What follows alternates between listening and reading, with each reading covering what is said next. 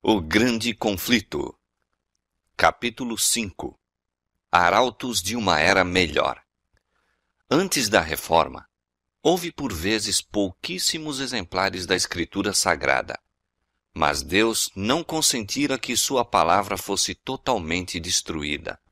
Suas verdades não deveriam estar ocultas para sempre.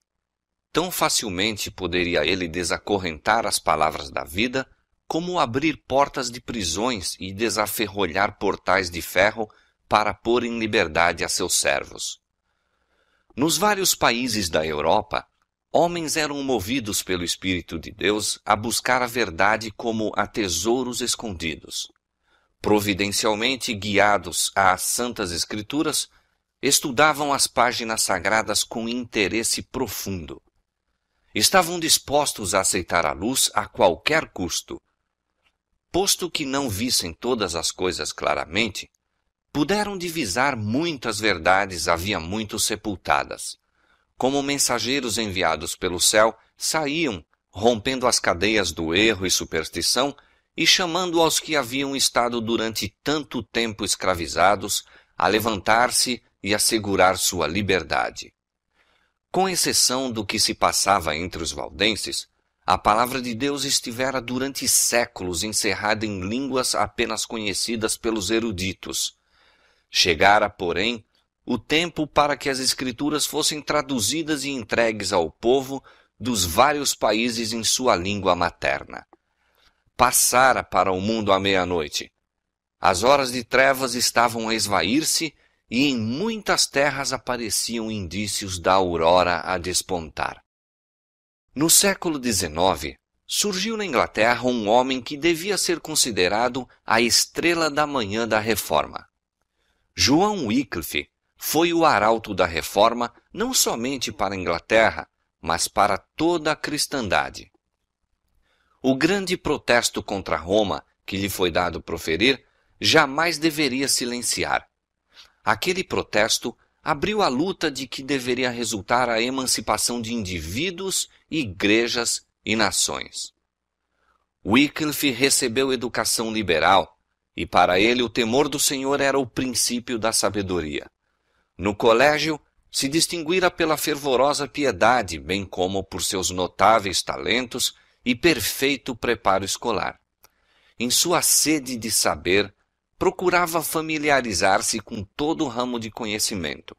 Foi educado na filosofia escolástica, nos cânones da Igreja e na lei civil, especialmente a de seu próprio país.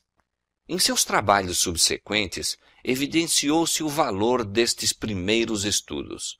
Um conhecimento proficiente da filosofia especulativa de seu tempo habilitou-o a expor os erros dela, e, mediante o estudo das leis civis e eclesiásticas, preparou-se para entrar na grande luta pela liberdade civil e religiosa. Não só sabia manejar as armas tiradas da palavra de Deus, mas também havia adquirido a disciplina intelectual das escolas e compreendia a tática dos teólogos escolásticos.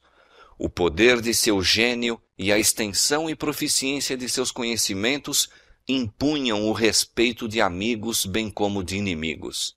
Seus adeptos viam com satisfação que seu herói ocupava lugar preeminente entre os espíritos dirigentes da nação.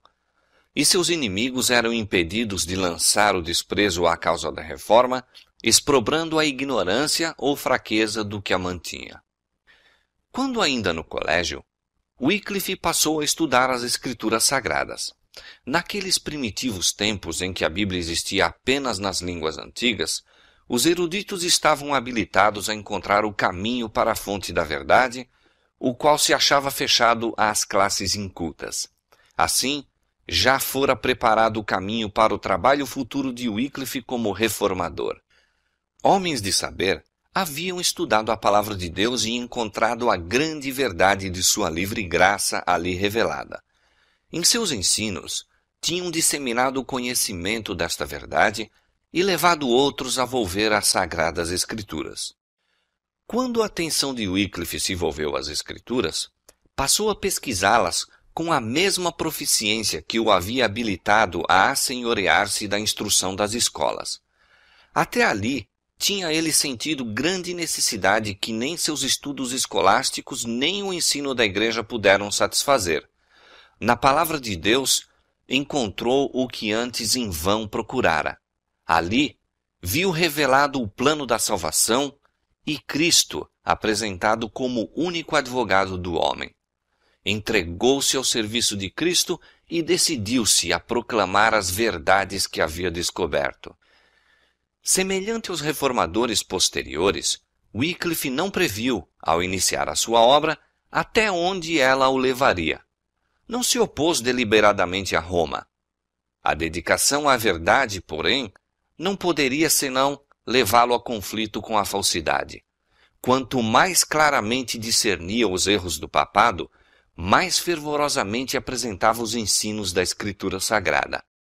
Via que Roma abandonara a palavra de Deus pela tradição humana. Destemidamente, acusava o sacerdócio de haver banido as Escrituras e exigia que a Bíblia fosse devolvida ao povo e de novo estabelecida sua autoridade na Igreja. Wycliffe era ensinador hábil e ardoroso, eloquente pregador, e sua vida diária era uma demonstração das verdades que pregava. O conhecimento das Escrituras a força de seu raciocínio, a pureza de sua vida e sua coragem e integridade inflexíveis conquistaram-lhe geral estima e confiança. Muitas pessoas se tinham tornado descontentes com sua fé anterior ao verem a iniquidade que prevalecia na Igreja de Roma e saudaram com incontida alegria as verdades expostas por Wycliffe. Mas os dirigentes papais encheram-se de raiva quando perceberam que este reformador conquistava maior influência do que a deles mesmos. Wycliffe era perspicaz descobridor de erros e atacou destemidamente muitos dos abusos sancionados pela autoridade de Roma. Quando agia como capelão do rei, assumiu ousada atitude contra o pagamento do tributo que o Papa pretendia do monarca inglês e mostrou que a pretensão papal de autoridade sobre os governantes seculares era contrária tanto à razão como à revelação. As exigências do Papa tinham excitado grande indignação e os ensinos de Wycliffe exerceram influência sobre o espírito dos dirigentes do país. O rei e os nobres uniram-se em negar as pretensões do pontífice à autoridade temporal e na recusa do pagamento do tributo. Desta arte, um golpe eficaz foi desferido contra a supremacia papal na Inglaterra. Outro mal contra que o reformador sustentou longa e resoluta batalha foi a instituição das ordens dos frades mendicantes. Estes frades enxameavam na Inglaterra, lançando uma nódoa à grandeza e prosperidade da nação. A indústria, a educação, a moral, tudo sentia influência debilitante. A vida de ociosidade e mendicidade dos monges não só era grande escoadouro dos recursos do povo, mas lançava o desdém ao trabalho útil. A juventude se desmoralizava e corrompia. Pela influência dos frades, muitos eram induzidos a entrar para o claustro e dedicar-se à vida monástica, e isto não só sem o consentimento dos pais, mas mesmo sem seu conhecimento e contra as suas ordens. Um dos primitivos padres da Igreja de Roma, insistindo sobre as exigências do monasticismo acima das obrigações do amor e dever filial, declarou: Ainda que teu pai te encontrasse deitado diante de tua porta, chorando e lamentando, e tua mãe te mostrasse o corpo que te carregou e os seios que te nutriram, tê-los ás de pisar a pés e ir avante diretamente a Cristo.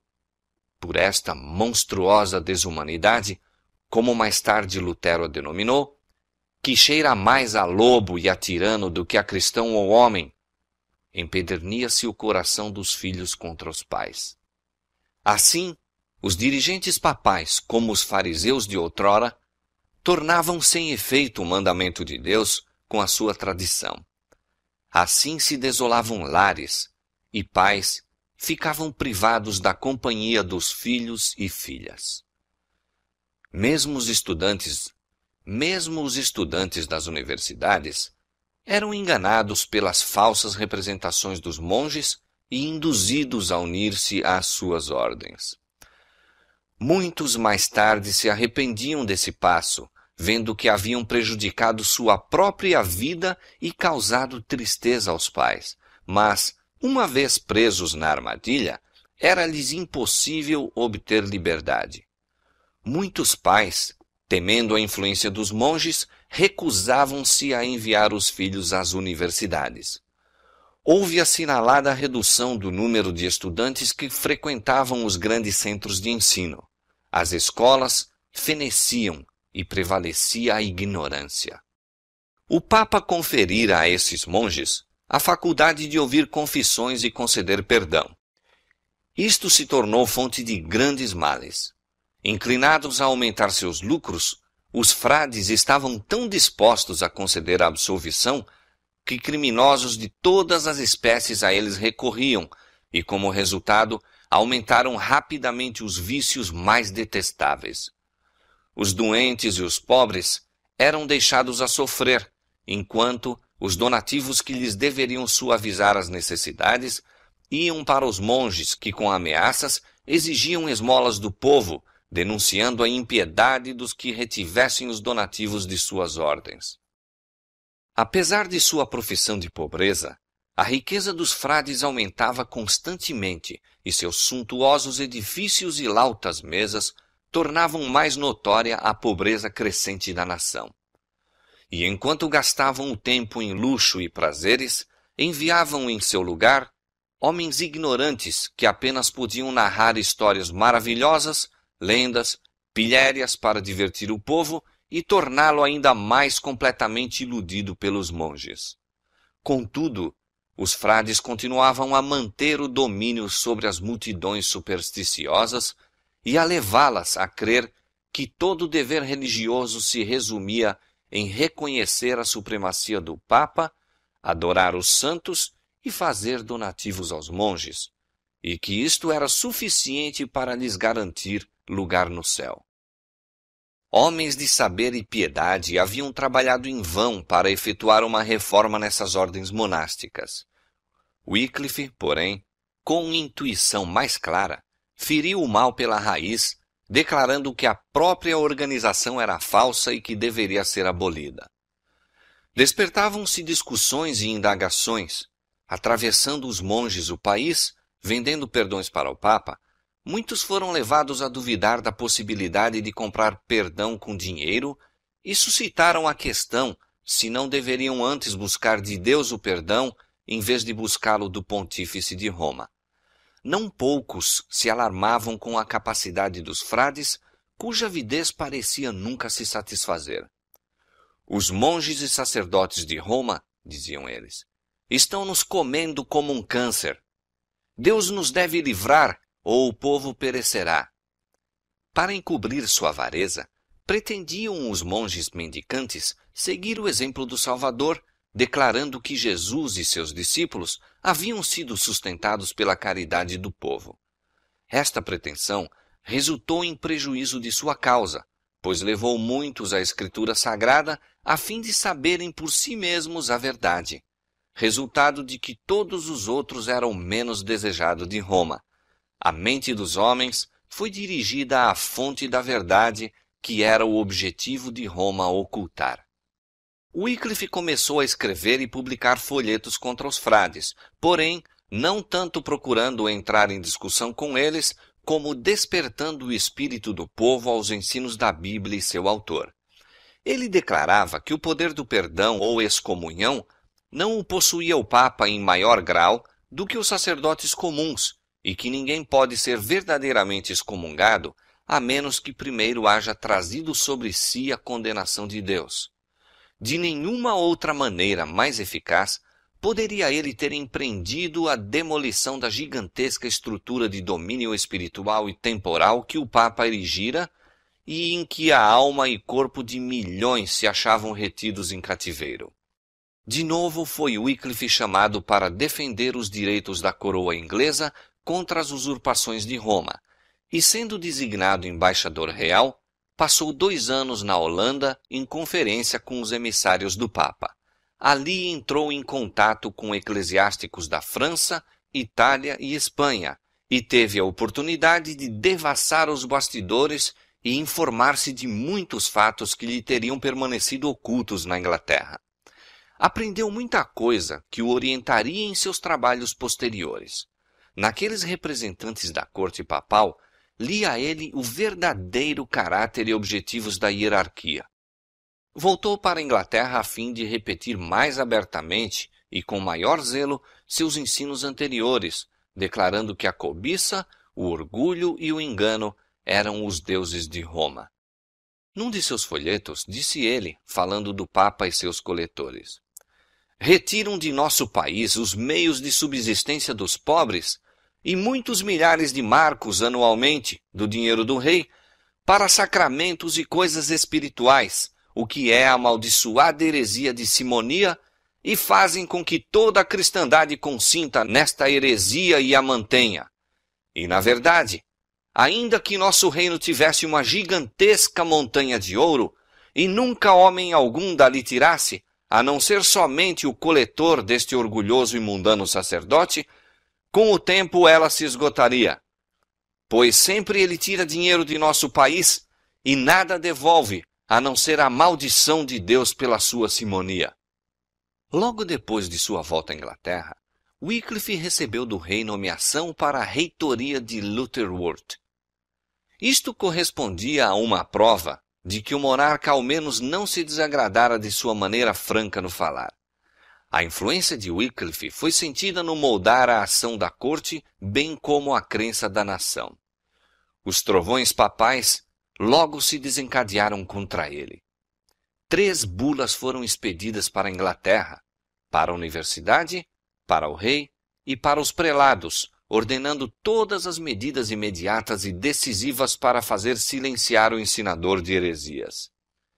Antes da chegada das bulas, porém, os bispos, em seu zelo, intimaram Wycliffe a comparecer perante eles para julgamento. Entretanto, dois dos mais piedosos príncipes do reino o acompanharam ao tribunal, e o povo, rodeando o edifício e invadindo-o, intimidou de tal maneira os juízes que o processo foi temporariamente suspenso, sendo-lhe permitido ir-se em paz. Um pouco mais tarde, faleceu Eduardo III, a quem, em sua idade avançada, os prelados estavam procurando influenciar contra o reformador, e o anterior protetor de Wycliffe tornou-se regente do reino. Mas a chegada das bulas papais trazia para toda a Inglaterra a ordem peremptória de prisão e encarceramento do herege. Estas medidas indicavam de maneira direta a fogueira. Parecia certo que Wycliffe logo deveria cair vítima da vingança de Roma. Mas aquele que declarou outrora a alguém: Não temas, eu sou teu escudo, de novo estendeu a mão para proteger seu servo. A morte veio, não para o reformador, mas para o pontífice que lhe decretara destruição. Gregório XI morreu e dispersaram-se os eclesiásticos que se haviam reunido para o processo de Wycliffe. A providência de Deus encaminhou ainda mais os acontecimentos para dar oportunidade ao desenvolvimento da reforma. A morte de Gregório foi seguida da eleição de dois papas rivais. Dois poderes em conflito, cada um em si dizendo infalível, exigiam agora obediência. Cada qual apelava para os fiéis a fim de o ajudarem a fazer guerra contra o outro, encarecendo suas exigências com terríveis anátemas contra os adversários e promessas de recompensas no céu aos que o apoiavam. Esta ocorrência enfraqueceu grandemente o poderio do papado. As facções rivais fizeram tudo o que podiam para atacar uma à outra, e durante algum tempo Wycliffe teve repouso. Anátemas e recriminações voavam de um papa a outro e derramavam-se torrentes de sangue para sustentar suas pretensões em conflito. Crimes e escândalos inundavam a igreja. Nesse ínterim, o reformador, no silencioso retiro de sua paróquia de Lutherworth, estava trabalhando diligentemente para, dos papas contendores, dirigir os homens a Jesus, o príncipe da paz. O cisma, com toda a contenda e corrupção que produziu, preparou o caminho para a reforma, habilitando o povo a ver o que o papado realmente era. Num folheto que publicou sobre o cisma dos papas, Wycliffe apelou para o povo a fim de que considerasse se esses dois sacerdotes estavam a falar a verdade ao condenarem um ao outro como o anticristo. Deus, disse ele, não mais quis consentir que o demônio reinasse em um único sacerdote tal, mas fez divisão entre dois, de modo que os homens, em nome de Cristo, possam mais facilmente vencê-los a ambos. Wycliffe a exemplo de seu mestre, pregou o Evangelho aos pobres. Não contente com espalhar a luz nos lares humildes em sua própria paróquia de Lutherworth, concluiu que ela deveria ser levada a todas as partes da Inglaterra. Para realizar isto, organizou um corpo de pregadores, homens simples e dedicados, que amavam a verdade e nada desejavam tanto como o propagá-la. Estes homens iam por toda parte, ensinando nas praças, nas ruas, nas grandes cidades e nos atalhos do interior. Procuravam os idosos, os doentes e os pobres, e desvendavam-lhes as alegres novas da graça de Deus. Como professor de teologia em Oxford, Wycliffe pregou a palavra de Deus nos salões da universidade. Tão fielmente apresentava ele a verdade aos estudantes sob sua instrução que recebeu o título de Doutor do Evangelho. Mas a maior obra da vida de Wycliffe deveria ser a tradução das Escrituras para a língua inglesa. Num livro sobre a verdade e sentido das Escrituras, exprimiu a intenção de traduzir a Bíblia, de maneira que todos na Inglaterra pudessem ler, na língua materna, as maravilhosas obras de Deus. Subitamente, porém, interromperam-se as suas atividades. Posto que não tivesse ainda 60 anos de idade, o trabalho incessante, o estudo e os assaltos dos inimigos haviam posto à prova suas forças, tornando-o prematuramente velho. Foi atacado de perigosa enfermidade. A notícia disto proporcionou grande alegria aos frades. Pensavam então que se arrependeria amargamente do mal que tinha feito à igreja e precipitaram-se ao seu quarto para ouvir-lhe a confissão. Representantes das quatro ordens religiosas, com quatro oficiais civis, reuniram-se em redor do suposto moribundo. Tendes a morte em vossos lábios, diziam. Comovei-vos com as vossas faltas e retratai em nossa presença tudo o que disseste para ofensa nossa. O reformador ouviu em silêncio.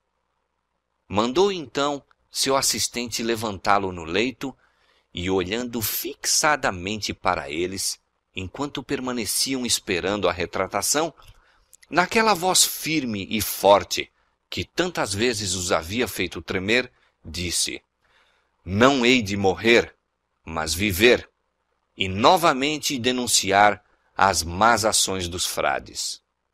Espantados e confundidos, saíram os monges apressadamente do quarto.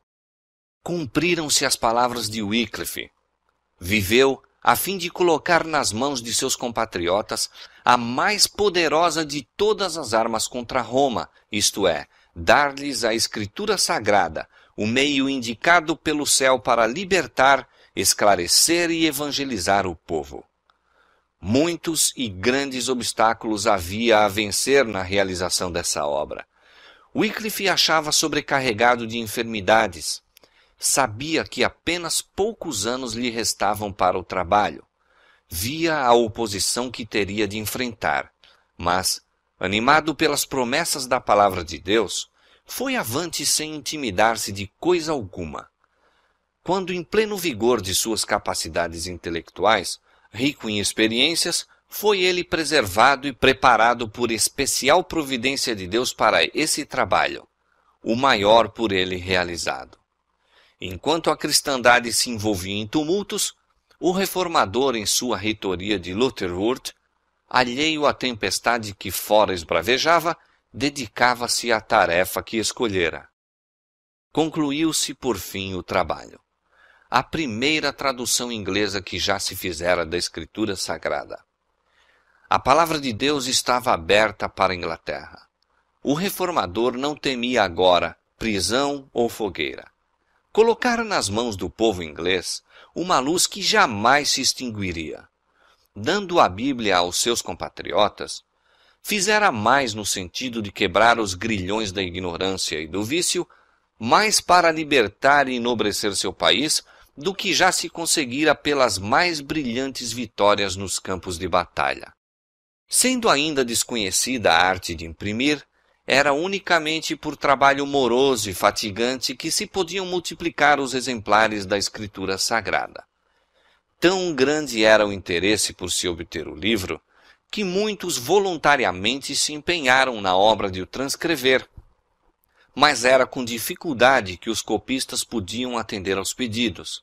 Alguns dos mais ricos compradores desejavam a Bíblia toda, outros compravam apenas parte.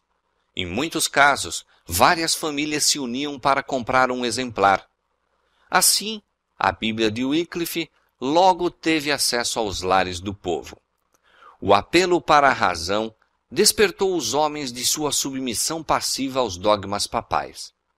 Wycliffe ensinava agora doutrinas distintivas do protestantismo, salvação pela fé em Cristo e a infalibilidade das Escrituras unicamente. Os pregadores que enviara disseminaram a Bíblia, juntamente com os escritos do Reformador, e com êxito tal que a nova fé foi aceita por quase metade do povo da Inglaterra. O aparecimento das Escrituras produziu estupefação às autoridades da Igreja. Tinham agora de enfrentar um fator mais poderoso do que Wycliffe, fator contra o qual suas armas pouco valeriam. Não havia nessa ocasião na Inglaterra lei alguma proibindo a Bíblia, pois nunca antes fora ela publicada na língua do povo. Semelhantes leis foram depois feitas e rigorosamente executadas. Entretanto, apesar dos esforços dos padres, houve durante algum tempo oportunidade para a circulação da palavra de Deus. Novamente, os chefes papais conspiraram para fazer silenciar a voz do reformador. Perante três tribunais, foi ele sucessivamente chamado a juízo, mas sem proveito. Primeiramente, um sínodo de bispos declarou heréticos os seus escritos e, ganhando o jovem rei Ricardo II para o seu lado, obtiveram um decreto real sentenciando à prisão todos os que professassem as doutrinas condenadas. Wycliffe apelou do sínodo para o parlamento. Destemidamente, acusou a hierarquia perante o Conselho Nacional e pediu uma reforma dos enormes abusos sancionados pela Igreja. Com poder convincente, descreveu as usurpações e corrupções da sé papal. Seus inimigos ficaram confusos. Os que eram amigos de Wycliffe e o apoiavam tinham sido obrigados a ceder, e houvera a confiante expectativa de que o próprio reformador, em sua avançada idade, só e sem amigos, curvar-se-ia ante a autoridade combinada da coroa e da tiara. Mas, em vez disso, os adeptos de Roma viram-se derrotados. O parlamento, despertado pelos estimuladores apelos de Wycliffe, repeliu o edito perseguidor e o reformador foi novamente posto em liberdade. Pela terceira vez foi ele chamado a julgamento, e agora perante o mais elevado tribunal eclesiástico do reino. Ali não se mostraria favor algum para com a heresia. Ali, finalmente, Roma triunfaria e a obra do reformador seria detida. Assim pensavam os romanistas. Se tão somente cumprissem seu propósito, Wycliffe seria obrigado a renunciar suas doutrinas ou sairia da corte diretamente para as chamas. Wycliffe, porém, não se retratou, não usou de dissimulação.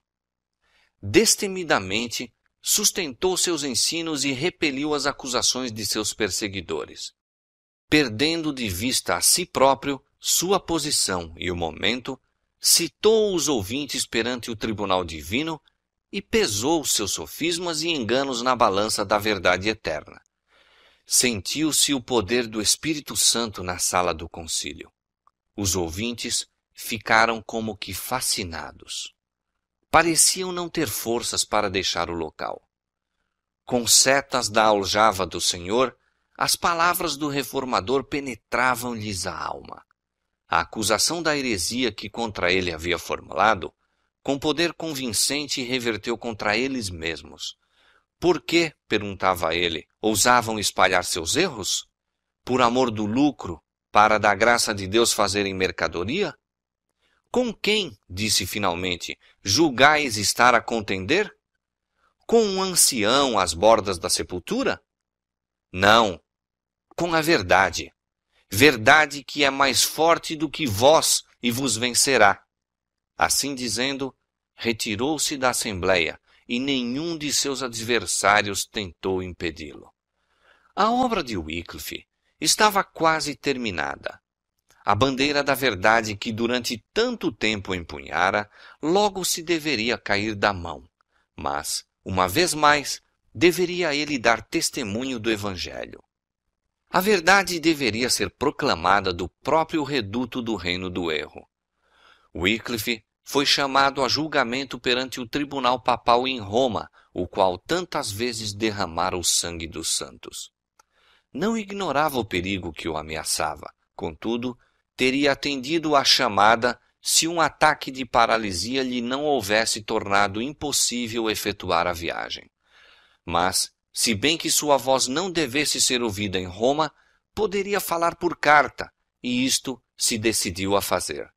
De sua reitoria, o reformador escreveu ao Papa uma carta que, conquanto respeitosa nas expressões de cristã no espírito, era incisiva censura à pompa e orgulho da sé papal. Em verdade me regozijo, disse, por manifestar e declarar a todo homem a fé que mantenho, e especialmente ao bispo de Roma, o qual, como suponho ser íntegro e verdadeiro, de muito boa vontade confirmará minha dita fé, ou, se ela é errônea, corrigi-la-á. Em primeiro lugar, Creio que o Evangelho de Cristo é o corpo todo da lei de Deus. Declaro e sustento que o bispo de Roma, desde que se considera o vigário de Cristo aqui na terra, está obrigado, mais do que todos os outros homens, à lei do Evangelho. Pois a grandeza entre os discípulos de Cristo não consistia na dignidade e honras mundanas, mas em seguir rigorosamente e de perto a Cristo em sua vida e maneiras. Jesus, durante o tempo de sua peregrinação na terra, foi homem paupérrimo, desdenhando e lançando de si todo domínio e honra mundanos.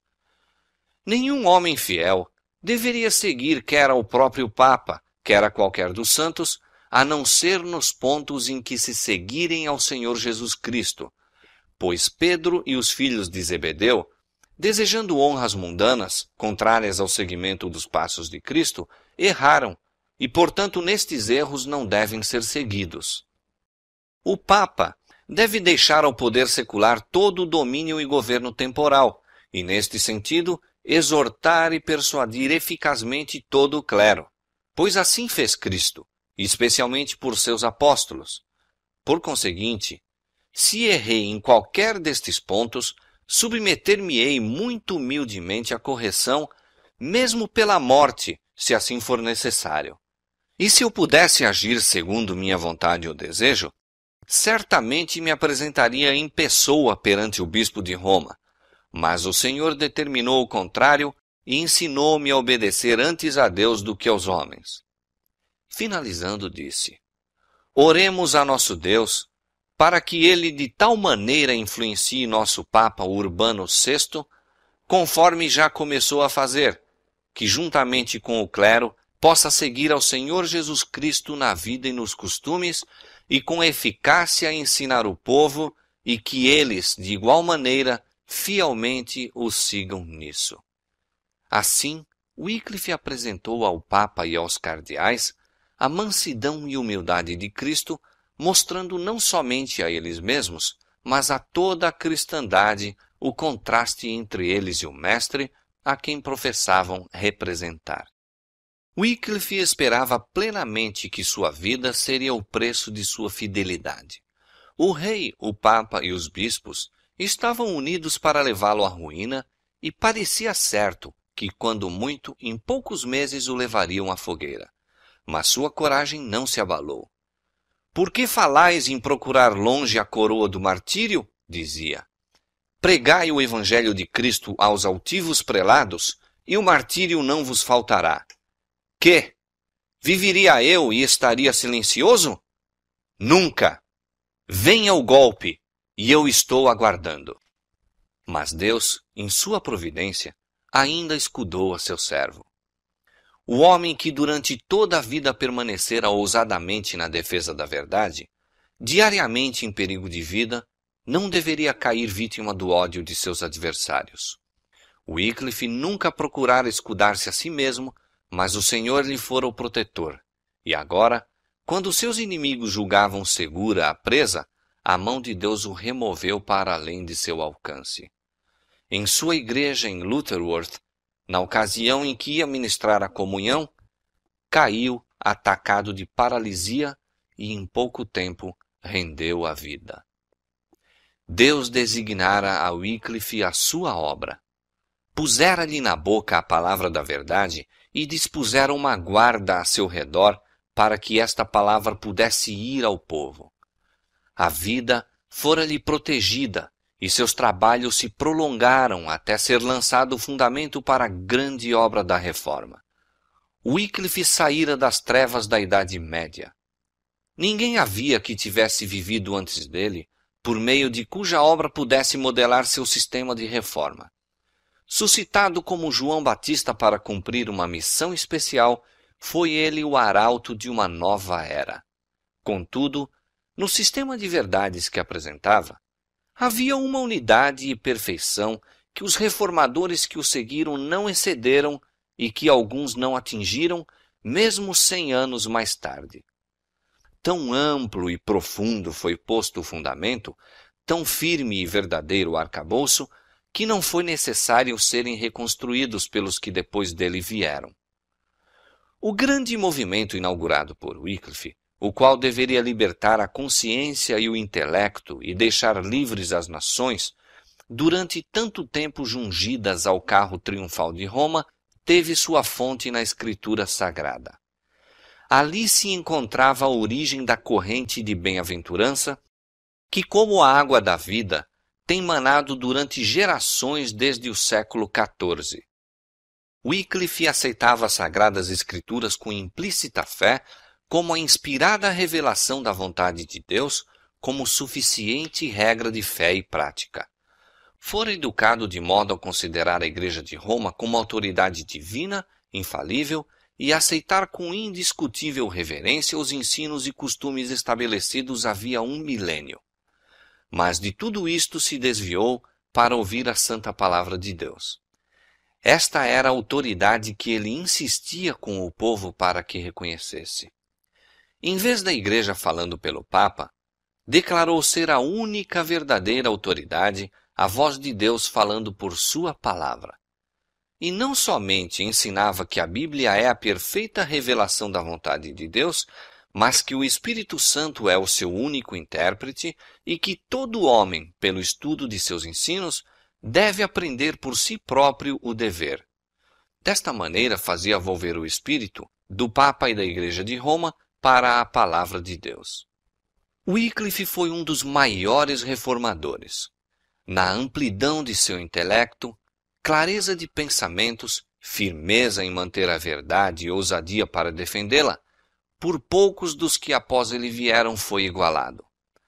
Pureza de vida, incansável diligência no estudo e trabalho, incorruptível integridade, amor e fidelidade cristã no ministério caracterizaram o primeiro dos reformadores. E isto, apesar das trevas intelectuais e corrupção moral da época de que ele emergiu. O caráter de Wycliffe é testemunho do poder educador e transformador das Sagradas Escrituras. Foram estas que dele fizeram o que foi, O esforço para aprender as grandes verdades da revelação comunica frescor e vigor a todas as faculdades. Expande a mente, aguça a percepção, amadurece o juízo.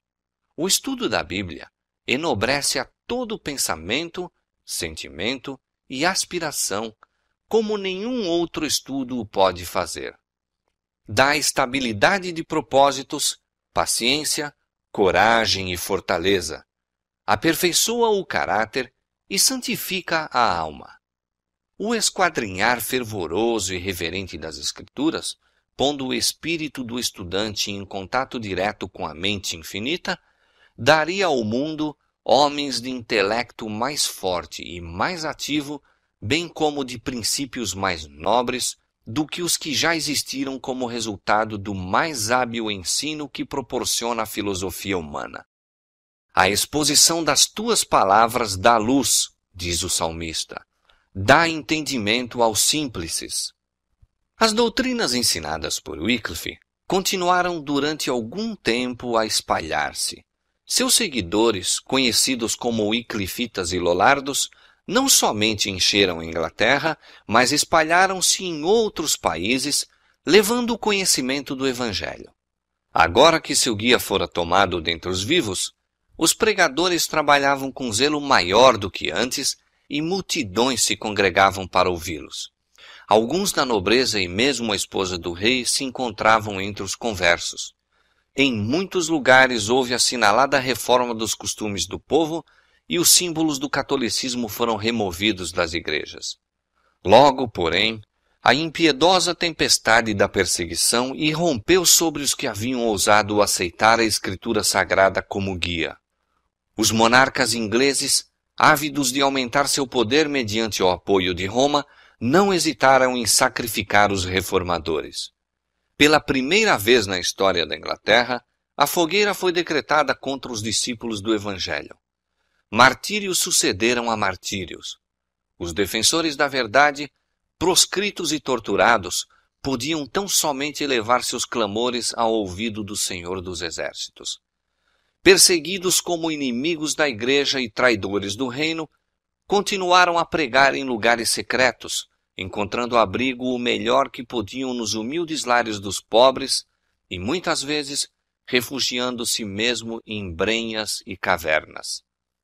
Apesar da fúria da perseguição, durante séculos continuou a ser proferido um protesto calmo, devoto, fervoroso, paciente contra as dominantes corrupções da fé religiosa. Os crentes daqueles primitivos tempos tinham apenas conhecimento parcial da verdade, mas haviam aprendido a amar e a obedecer à palavra de Deus e pacientemente sofriam por sua causa. Como os discípulos dos dias apostólicos, muitos sacrificavam suas posses deste mundo pela causa de Cristo. Aqueles a quem era permitido permanecer em casa abrigavam alegremente os irmãos banidos, e quando eles também eram expulsos, animosamente aceitavam a sorte dos proscritos. Milhares, é verdade, aterrorizados pela fúria dos perseguidores, compravam a liberdade com sacrifício da fé e saíam das prisões vestidos com a roupa dos penitentes, a fim de publicar sua renúncia. Mas não foi pequeno o número e entre estes havia homens de nascimento nobre, bem como humildes e obscuros, dos que deram destemido testemunho da verdade nos cubículos dos cárceres, nas torres dos lolardos e em meio de tortura e chamas, regozijando-se de que tivessem sido considerados dignos de conhecer a comunicação de suas aflições. Os romanistas não haviam conseguido executar sua vontade em relação a Wycliffe durante a vida deste, e seu ódio não se satisfez enquanto o corpo do reformador repousasse em sossego na sepultura. Por decreto do Concílio de Constança, mais de quarenta anos depois de sua morte, seus ossos foram exumados e publicamente queimados, e as cinzas lançadas em um riacho vizinho. Esse riacho, diz antigo escritor, levou suas cinzas para o Avon, o Avon para o Severn, o Severn para os pequenos mares e estes para o grande oceano. E assim, As cinzas de Wycliffe são o emblema de sua doutrina que hoje está espalhada pelo mundo inteiro. Pouco imaginaram os inimigos a significação de seu ato perverso. Foi mediante os escritos de Wycliffe que João Hus, da Boêmia, foi levado a renunciar a muitos erros do catolicismo e entrar na obra da reforma. E assim é que nesses dois países tão grandemente separados foi lançada a semente da verdade. Da Boêmia, a obra estendeu-se para outras terras. O espírito dos homens foi dirigido para a palavra de Deus, havia tanto esquecida. A mão divina estava a preparar o caminho para a grande reforma.